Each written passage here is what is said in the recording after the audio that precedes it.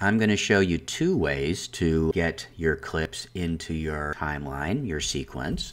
Uh, one is by directly dragging it in, and the other one is by way of the source window. So let's do the simplest one first. If I just go over here to A roll bud MP4, I can just drag that from the icon and just pull it right into the timeline window. And so this is a good point to discuss the timeline. So I'm going to zoom in a little bit. So if you just press the plus key, that will allow you to zoom in. If you want to zoom out, you hit the minus key. So I'll mention several keystrokes in here, uh, as I did in class, just because it will make working in Premiere so much more enjoyable because you'll be doing certain things a lot. And if you don't use keystrokes, you'll go a little bit crazy. So the first thing I want to do is just increase the height of my track. So you'll notice in the left here, I have three video tracks and I have three audio tracks. So I'm going to turn off the blue squares next to those audio tracks since they are currently empty.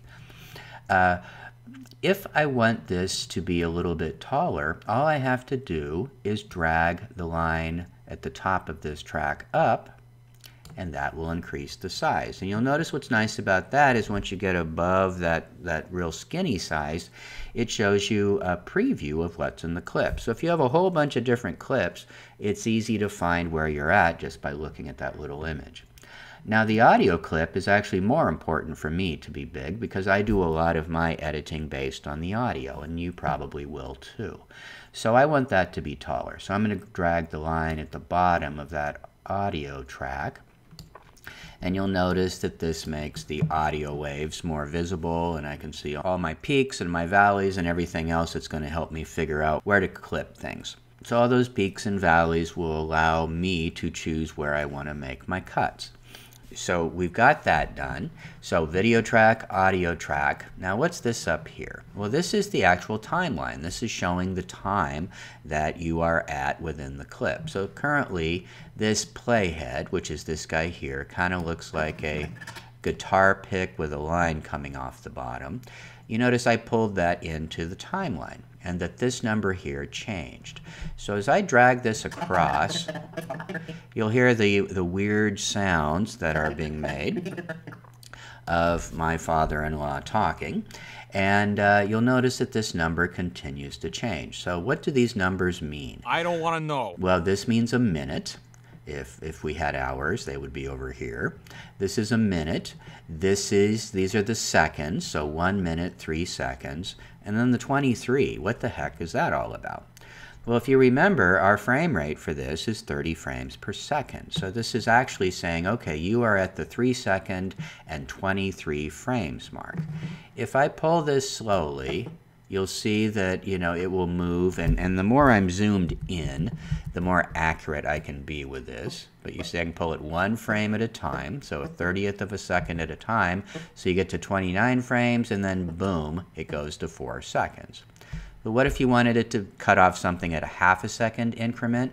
Well I'd pull down to 15 and that would be the equivalent of half a second the playhead and the timeline very critical that you understand this this concept and how these work and you will use this playhead a lot as you'll see in these demos to clip to that's kind of a basic overview of how this timeline works as we add additional clips we'll, we'll build on this basic knowledge now, let me just discuss a little bit about navigation around here. So when I pull the playhead here, that is called scrubbing. So that's a really good term. Bring that up at a cocktail party, and you will have the opposite sex flocking to you, um, or the same sex. Totally up to you.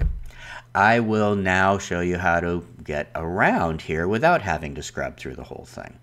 What if I just want to go to the end of the clip, say? Well, again, I'm going to discuss keystrokes.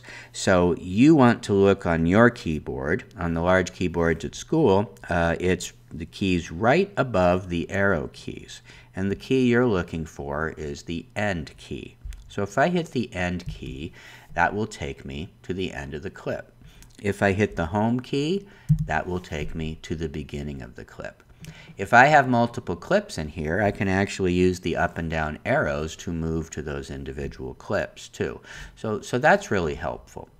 Now, what if I just want to see the whole sequence at once, you know, small so I can see the whole thing in the timeline window?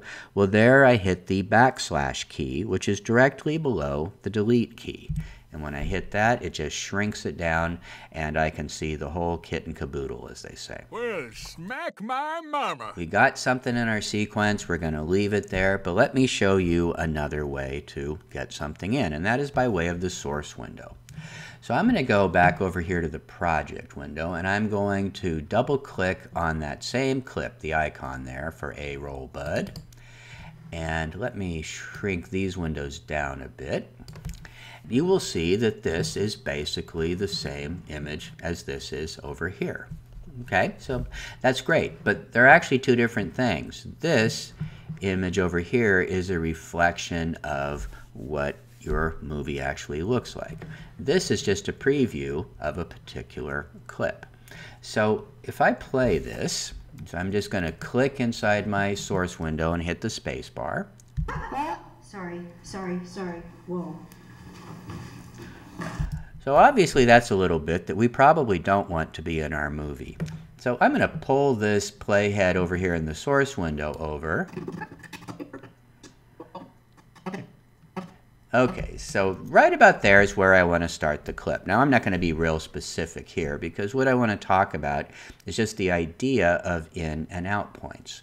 So an in point means where do you want to start the clip playing. So you're going to shoot a bunch of video and you're not going to use most of it. You're really just going to clip out certain parts to use in your movie. So this is saying I don't want that first part of the clip. I want it to start here. That's my in point. So to establish that, I can click either on this little icon here, or I can hit the I key. So I'm going to do that. Just hit the I key, and that establishes my in point. Now I'm just going to randomly pull this over just a little bit and just say that is where I want my clip to end. That's my out point. So I can click on this icon here or I can hit the out key. And so the O key, I'm sorry. Um, and so that's, uh, that is all set to go. Now if I come back here to the timeline, let me just reduce the size of this a bit. And then I want this clipped clip to go down into here.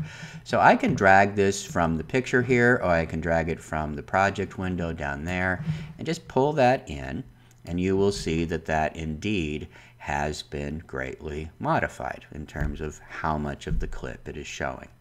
So I'm going to show you in a minute how to do the same thing down here in the timeline. You know, as with all this stuff, there's no right or wrong. There's just the way you prefer to work. And so I'm going to delete this. I do both ways. Sometimes I will uh, clip it in the timeline. Uh, a lot of times I will clip it in the source window before I bring it in, especially with audio. Uh, so, okay, so let's go back here to the timeline. Let me enlarge this just a bit and uh, zoom in just a bit. So I'm hitting the plus key. And so we have the same problem. We've got that beginning of the clip we don't like. So how do we get rid of that here? I'm just going to play this. Sorry, sorry, sorry. Whoa. Okay, pull this over a bit more until I get closer. Okay, we're, we're still rolling. Okay, short. So right there, he Bud says okay, and then there's a pause, then shortly. So I want to get rid of the word okay and start the clip at shortly. So that's where the audio really comes in handy. I can be a lot more accurate if I refer to the audio as opposed to looking at the video picture. And so I'm going to zoom in a lot. So I'm just hitting the plus key. And then I'm going to pull my playhead over. Okay, short. So if I do it that way, right, is hit the spacebar to play and hit the spacebar to stop, it's really hard for me to be that accurate. So I'm going to scrub. And so I'm going to come back here and I'm going to pull across this. So you hear him okay, and then what I'm looking for is the sh to start. So right there. Right there. So that's going to be my in point for this. His eyes are closed, which isn't ideal, but it's actually going to happen so fast you won't even notice it. So now I'm going to hit the backslash key under the delete key to show the whole thing in the window. I'm going to click on my clip and then I'm going to make sure I have my arrow tool selected right here. And then you'll notice that when you pull over the left side of the clip, the beginning of the clip, it turns into a bracket with an arrow in red. And I'm just going to click and hold and drag, and that will snap to the playhead. So make sure your magnet right here is blue. That means that that feature is active. And then you can use the playhead as something just to snap to. It makes it very easy. So I've lost the beginning of my film, so I'm just going to click and drag the clip over in the timeline window so it starts at the zero point. And then I'm going to do the same thing at the end here. So just pull all the way to the end of the clip, zoom in a bit, and you'll notice when you zoom in, the playhead will stay centered, which is kind of nice. Very. Live together forevermore. Thank you. And right about there is where I want the clip to end. So I'm, that's my out point. So I'm going to drag the end of that over to the playhead and hit the uh, backslash key. And uh, we have inserted the A roll, and uh, that runs the entirety of the film, and everything else will end up just sitting on top of it. So that's how you get it in. Two different ways, totally up to you which you prefer.